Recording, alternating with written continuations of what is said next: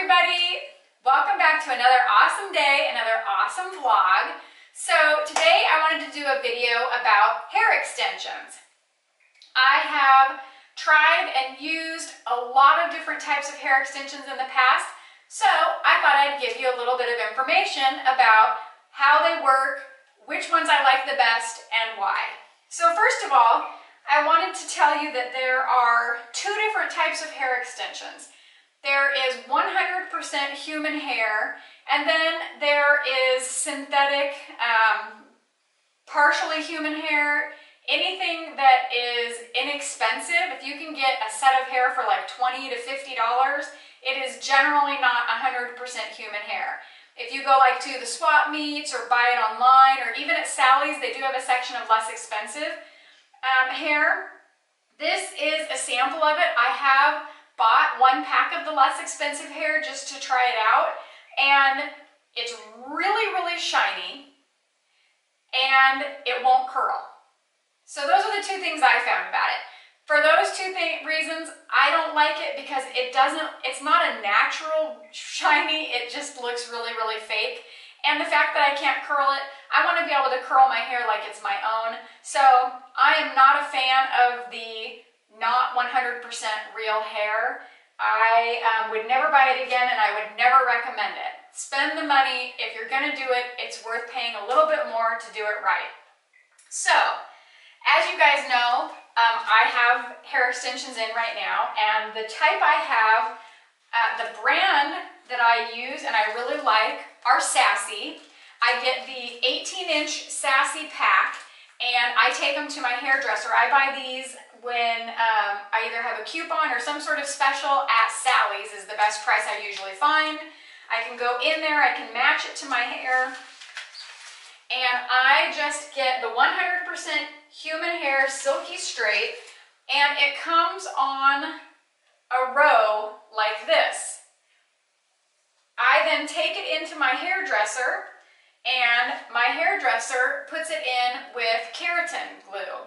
It is used in a glue gun, and the glue sticks are keratin glue, and I just clip off little pieces, uh, little sections at a time and hand them to her, and she attaches them. So this absolutely has been my very, very favorite way to get them done. Um, it does take about an hour and a half to two hours, um, but I'm able to easily take them out myself. All it takes is a little bit of uh, uh, fingernail polish remover and some needle nose pliers. And once you put it on, you can just clip them, just um, pinch them with the needle nose pliers and they come right off.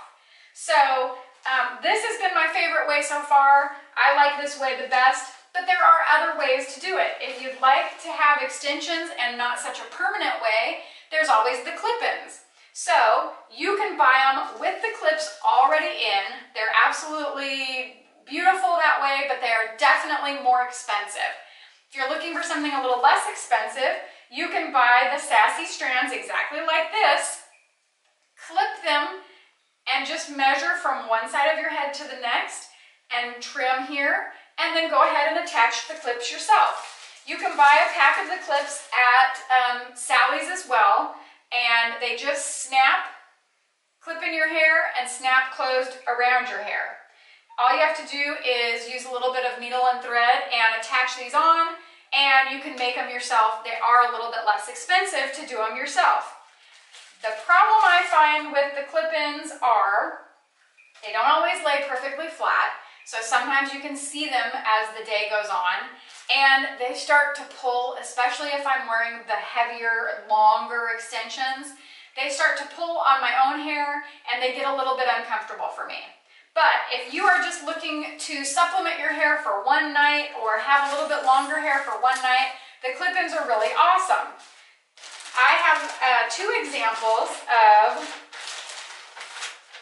hair that have the clip-ins, the clips already in them. These were purchased with the clips. This is a blonde set for when my hair is lighter.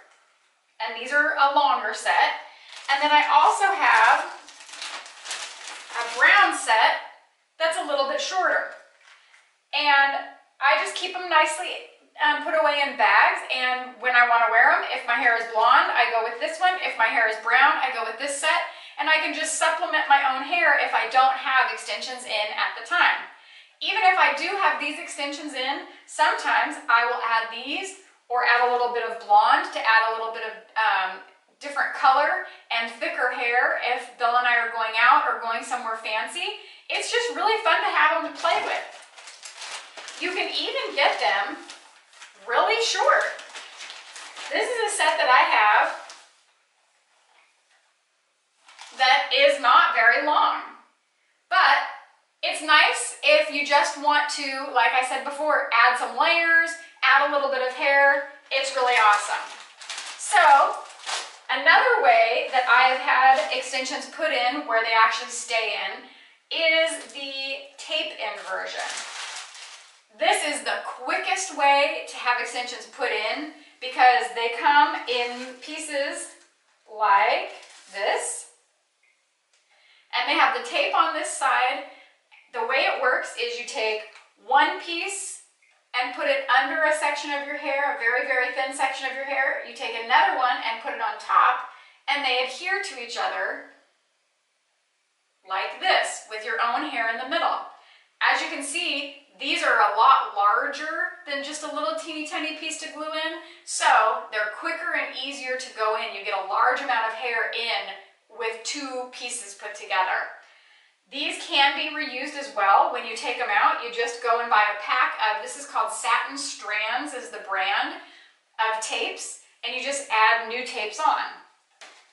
The brand of hair I got was Satin Strands as well. I got these at um, Sally's Beauty Supply as well. And I, at the time, had blonde highlights in my hair. So I bought a pack of brown, a pack of blonde, and she was able to put them in so that you could uh, show my um, highlights with the tape-ins as well. So that was really kind of fun, but taking them out is very, very difficult. There's a lot of sticky left behind. Even if you buy the proper stuff to remove them, I had a really, really hard time taking them out easily and getting all of the residue off my hair. That is why I stopped using the tape-ins. But they are quick to put in. They last for a couple of months. And then you can take them out, um, you know, you just buy the remover, but it takes a lot of time. So, that is my video on hair extensions. I just wanted to show you some different types, some different things you could do with them, different reasons that you would use one over another. So I hope you enjoyed my video. If you have any questions for me, feel free to leave comments down below. If you enjoyed this video, press the like button Thanks so much for watching. If you didn't see the video where I went and got my extensions put in, click the button over here. And if you're new to the channel and haven't subscribed, click the button over here. Thanks so much for watching. Bye! I almost fell asleep. Bye!